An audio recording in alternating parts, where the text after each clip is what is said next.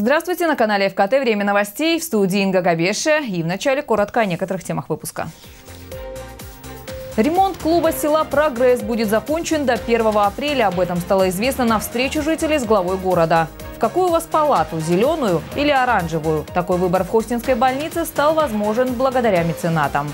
Бой с тенью представят спортсмены из шести субъектов страны. В Сочи стартовало первенство Южного федерального округа по УШУ.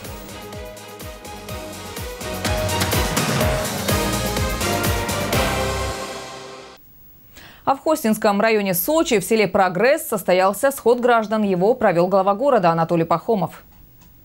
Изначально встреча должна была состояться в отремонтированном местном клубе, но разговор с селянами пришлось провести в коридоре школы. Как выяснил на месте глава города, сроки ремонта клуба затянулись, и бюджетные средства в полном объеме еще не освоены. Завтра ко мне начальник управления, вы, она, э, тоже не надо, но разберемся по ситуации, потому что я не могу, еще раз говорю, мы, мы тут, вот что бы я не хотел сделать, если у нас везде будет такое отношение к делу, да, то мы ничего не сделаем. Сельская школа тоже требует принятия кардинальных решений. Детей с каждым годом становится больше, а дополнительных классов нет. Но школа растет, детей прибавляется.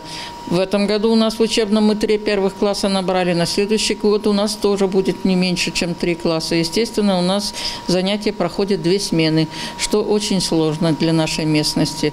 У нас нет спортивного зала, у нас нет актового зала. И нам бы хотелось попросить, чтобы какую-то программу нас включили для строительства второй очереди нашей школы. Глава города взял вопрос под свой личный контроль. Конечно, одной спортплощадки около школы недостаточно, хотя и она никогда не пустует. Сюда приходят играть мальчишки даже из ближних сел. Ребятам нужен и крытый спортзал. Да и сельский клуб должен использоваться по назначению, отметил глава курорта. Если нет в школе актового зала, почему не проводить все общешкольные мероприятия в клубе? Просили люди также решить вопрос водоснабжения и освещения небольшого участка на окраине села. У меня вопрос по уличному освещению. Улица Корчикяна. Три лампочки горят, дальше добры стоят, и ни одна не горит. Анатолий Пахомов незамедлительно дал поручение в вопросах электроэнергии навести порядок. В свою очередь глава города попросил людей серьезно отнестись к проблеме канализования села. Город этой темой занимается уже три года. И от своевременной установки лосов в домах зависит экология курорта. Я почему строго к этому отношусь? Потому что на самом деле это здоровье. И хотите, либо не хотите, значит, э, вам надо будет в обязательном порядке это сделать. И буквально завтра комиссия э, с водоканалом, с Игорем Николаевичем, под его руководством, это, это уже требование мое, не заместители ваши, не ваш глава, который обманывает, а вы лично пойдете по каждому двору, и мне потом информацию принесете четкую, которую я прошу. В селе проживает более двух тысяч человек. Первые поселенцы тут появились 150 лет тому назад, переселяются из мегаполисов и сейчас людей привлекает созданная инфраструктура. Очень нам повезло, что Олимпиада была в городе и по олимпийской программе дорога в прекрасном состоянии, село все полностью газифицированное, электроснабжение улучшили. Такие сходы граждан, по мнению главы города, необходимы. Все болевые точки села удается обсудить с людьми и принять определенные решения. Одно уже принято. Ремонт в клубе будет закончен до 1 апреля. Елена Овсецина, Владимир Киселев, телекомпания ФКТ. Каким будет год экологии в Сочи? Этот вопрос обсудили на расширенном заседании Комитета по санаторно-курортному делу, туризму и экологии городского собрания. В нем приняли участие помимо депутатов представители администрации курорта и общественности. Программа на год экологии в Сочи разработана. Она предполагает решение самых острых для курорта экологических проблем. И первая связана с незаконным сбросом канализационных вод в ливневки, ручьи, реки и море. Работа в этом направлении ведется уже не первый год. Из 18 тысяч объектов, которые были замечены в нечистоплотности, осталось только 2 тысячи. Остальные либо подключились к централизованной канализации, либо установили лосы. Мы вместе разрабатывали и утверждали на экологическом совете регламент содержания лосов.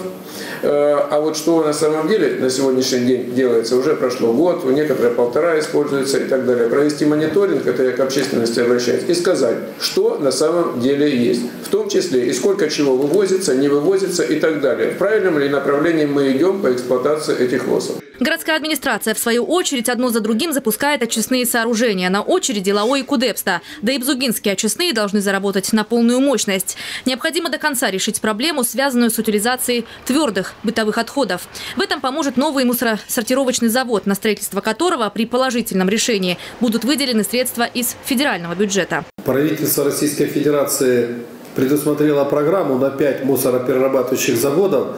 Это завод в городе Казань и 4 завода, которые планировались построить в Подмосковье. И мы ждем буквально со дня на день, когда город Сочи будет включен Строительство завода будет вестись по самой экологически чистой технологии, самой распространенной в Европе. Однако без одобрения сочинцев этот проект реализован быть не может, отметил глава Сочи и поручил представителям экологической общественности тщательно проработать этот вопрос. Включиться горожанам необходимо и в реализацию других инициатив, например, благоустройство горы Благодать в микрорайоне Бытха быть развитие э, таких... Там ну, есть экологическая тропа, и там очень хороший лесопарк. Это большой микрорайон. И, в принципе, конечно, его бы очень бы желательно благоустроить, потому что там есть и видовые площадки, он достаточно, он большой. А там есть э, такие урочища, которые ну, представляют большой эстетический интерес. Также в 2017 году планируется заложить два парка, но за это дело уже возьмется городская администрация. Один будет открыт в честь 80-летнего юбилея Краснодарского края, второй в честь Всемирного фестиваля молодежи и студентов, который пройдет в Сочи в октябре этого года. Продолжится работа по кадастрированию зеленых зон, которая позволит их сохранить в первозданном виде. Ведется также борьба с насекомыми-вредителями. Ольга Десятова, телекомпания «ФКТ». В Сочи проходят рейды по проверке санитарного состояния улиц. Коммунальщики утверждают, горы мусора начинают расти с наступлением темноты. Этикетки от продуктов, картон, пластиковые упаковки. Под покровом темноты сотрудники торговых предприятий начинают избавляться от отходов производства. Каждый день после восьми вечера в самом центре курорта растут стихийные свалки. А почему больше нет? Ну вот пойдите с администратором поговорите. А вы вот это заберите, пожалуйста. Да, конечно, заберу. Заберите, пойдемте к вашему администратору сейчас быстренько и поговорим. Только за один вечер комиссия обнаружила пять мест скопления мусора. В рейде участвовали представители администрации, полицейские, казаки, всего около 50 человек. Они разделились на несколько групп и обследовали так называемый центральный квадрат. Это улицы Парковая, Горького, Конституции и Московская. Именно здесь несколько месяцев назад мусорные контейнеры убрали с проезжей части и перенесли на придомовые территории. О проекте переноса контейнеров начали говорить еще в ноябре прошлого года. В мэрии провели несколько совещаний с обслуживающими организациями и председателями домкомов. Они проинформировали информировали о новшестве жильцов. Раз контейнерной площадки нету на улице, значит, где ее можно установить? Значит, надо будет э, у себя во дворе, как было предложено департамент городского хозяйства, установить контейнер. То есть один многоквартирный дом, э, один, ну, грубо говоря, один контейнер. Мусорные контейнеры на центральных улицах затрудняли движение транспорта и портили облик курорта. Кроме этого, их активно использовали предприниматели, не желающие заключать договоры со спецавтохозяйством на вывоз отходов. Бизнесмены экономили, оплатили за них жители микрорайона. Теперь контейнеры убрали, и торговцы выбрасывают свои отходы прямо на тротуар. Для того, чтобы э, у нас было э, чисто, аккуратно и хорошо, необходимо первое заключить договоры со спецавтохозяйством и э, взять у них э, пакеты с логотипом спецавтохозяйства, которые стоят 100 рублей. И вечером э, в 9 часов их выставлять вот сюда, на эту улицу, и будет машина проходить и забирать. Итог рейда – 7 административных протоколов. Штрафы за вывоз мусора для организации могут достигать 50 тысяч рублей. Вечерние обходы будут проходить ежедневно. Рената Шипулина, телекомпания «ФКТ». Продолжаем. В Сочи на зебре сбит подросток. ДТП произошло накануне в Адлере на улице Ромашек. По предварительным данным, 43-летний водитель, управляя автомобилем «Опель Астра», наехал на пешехода, который переходил дорогу по зебре. 17-летний пешеход был госпитализирован. По факту ДТП проводится проверка, устанавливаются все обстоятельства третьей городской больнице в Хосте идет поэтапный ремонт. Сегодня там по инициативе сочинских единороссов продолжают обновлять палаты в терапевтическом отделении. Современный ремонт делают благодаря помощи меценатов. Его качество сегодня оценил глава города Анатолий Пахомов. Расскажет Ольга Десятова. Городская больница номер три в Хосте два года назад отметила полувековой юбилей. К 50-летию здесь провели капитальный ремонт приемного отделения. Обновили и травматологическое крыло. Теперь дело за отделением терапевтическим. Здесь основные пациенты – пожилые люди. Сегодня они лечатся вот в таких условиях – свежеотремонтированных палатах. Как продвигается ремонт, оценил глава Сочи Анатолий Пахомов. Неприятные условия были, но сделали так, как э, для людей, чтобы как дома чувствовали себя. Пять местных бизнесменов помогли отремонтировать четыре палаты в отделении терапии. Теперь в комнатах не только яркие стены и новый пол. Душ и туалет прямо в палате. Все для удобства и быстрого выздоровления. Уже в столовой больнице Анатолий Пахомов рассказывает, что ремонт будет проходить в несколько этапов. Главная задача – он не должен мешать ежедневной работе лечебного учреждения. За счет предпринимателей, за счет в резерва и ресурсов главного врача делаем поэтапный ремонт, чтобы не закрывать больницу. Ну, переделаем палаты, чтобы вот он показывает мне, в палате теперь не будет, правда, 6 кроватей, будет 3 кровати, но зато будет туалет, душ, это, наверное, уже немаловато. Пахомов прошел по палатам в других отделениях и пообщался с пациентами. В целом, они довольны тем, как работает больница. А лечение как? Лечение. Очень внимательные врачи, медсестры и нянечки. Им без конца моют, убирают, укольчики ставят. В Хостинской больнице сегодня оказывают всю необходимую помощь и проводят высокотехнологичные операции. Но в ближайшее время здесь появится и новое оборудование. Буквально в этом году мы будем закупать новое медицинское оборудование. А, Я вчера как раз был в Минздраве Краснодарского края, где подтвердили всю нашу заявку. И операционное, реанимационное отделение, также травматологическое отделение будет оснащено новым оборудованием современным, что позволит нам более уже на высоком уровне оказывать медицинскую помощь. Но по-прежнему проблемным остается вопрос заработных плат. Анатолий Пахомов в разговоре с персоналом и главврачом отмечает, зарплаты повышать просто необходимо. Только так можно удержать ценных сотрудников на рабочих местах. Персонал, конечно, это самое большое богатство. Поэтому я это переживал сегодня. Мы это делаем в больнице, там условия, э, кредиторку погашаем, а можем потерять главное. Это персонал. Увеличение зарплат медперсонала, утверждает главный врач, планируется уже в ближайшие два месяца. Анатолий Пахомов пообещал лично за этим проследить. Ольга Десятого, Михаил Дубинин, телекомпания «ФКТ». 60 журналистов из семи школ Лазаревского района в рамках месячника оборонно-массовой и военно-патриотической работы в поселке Дагомы стартовал первый районный слет юных корреспондентов «Живое перо». В актовом зале 82-й школы кипит работа. Здесь собрались те, кто ежедневно следит за новостями своего учебного заведения и рассказывает о них на страницах школьной газеты. Этим мальчишкам и девчонкам не больше 12 лет, но несмотря на свой юный возраст, они проделали большую работу. Сегодня плоды своего творчества ребята представили на первом слете юных корреспондентов «Живое перо». Ну, целью э, здесь, наверное, уже понятно, что является. То есть это творческая самореализация детей и подростков. И, конечно, мы э, планируем в каждой школе вовлечение каждого школьника э, в школьные пресс-центры. Ане Воронцовой 11 лет, три года из них она работает корреспондентом в школьной газете «Дага Вест». Пишет интересные заметки и статьи.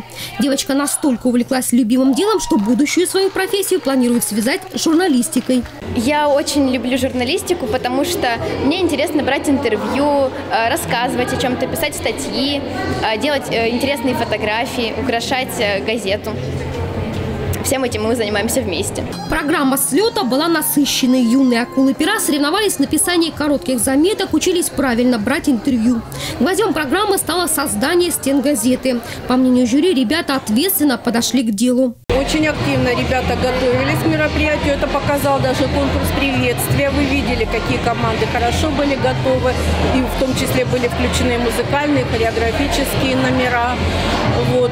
Ну и второй конкурс «Новость одной строкой» мы прочитали. Тоже очень интересные новости ребята подготовили. В завершении слета победители получили дипломы и ценные призы. По словам организаторов, такого рода мероприятия в Сочи будут проходить регулярно. Здесь ребята не только демонстрируют свои достижения в области печатной журналистики, но и обмениваются опытом. Елена Овсецина, телекомпания «ФКТ».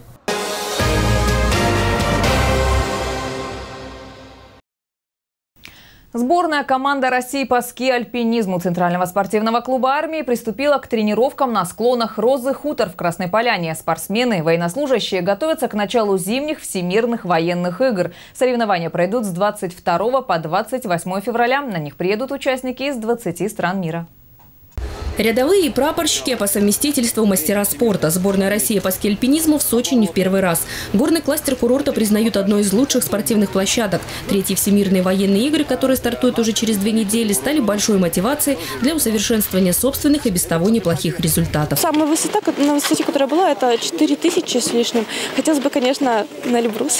Очень хочется. Ставлю перед собой такую цель. В этом году будет соревнование также на Эльбрусе, будет забег на Эльбрус. Будем стараться будем акклиматизироваться, будем пробовать все-таки на вершину. Тренируемся как мы уже с самого начала лета интенсивно. Сейчас вот готовимся, готовимся, но сейчас вот сидим на загрузке такой, ну, нормальные объемы делаем, ну, дня три еще.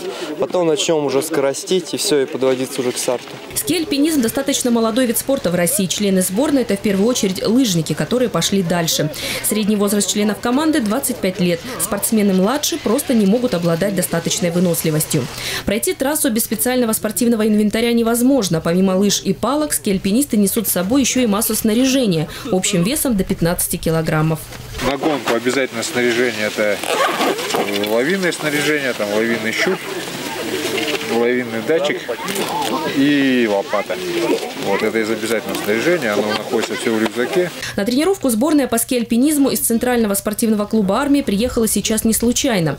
Нужно познакомиться с трассой, изучить рельеф и привыкнуть к климату. Сегодня отрабатывают технику. Помимо лыжных приемов, спортсмены каждый день бегают марафон. Шесть человек – это те, кто побежит в личном забеге. В командном соревновании четверо армейцев. Каждый из ребят – это выдающаяся личность.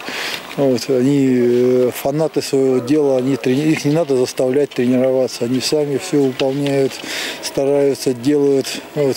Они выполняют сумасшедшие объемы тренировок.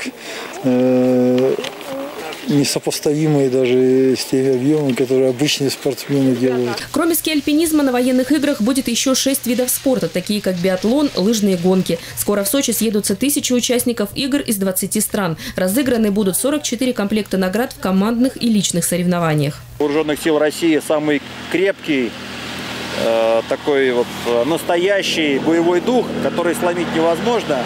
Ну а спортсмены военнослужащие, они всегда были, есть и будут лицом не только армейского спорта, но и всех вооруженных сил, а в данном случае и всей страны.